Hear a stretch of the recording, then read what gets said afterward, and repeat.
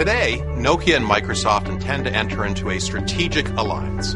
Together, we will bring consumers a new mobile experience with stellar hardware, innovative software, and great services. We will create opportunities beyond anything that currently exists.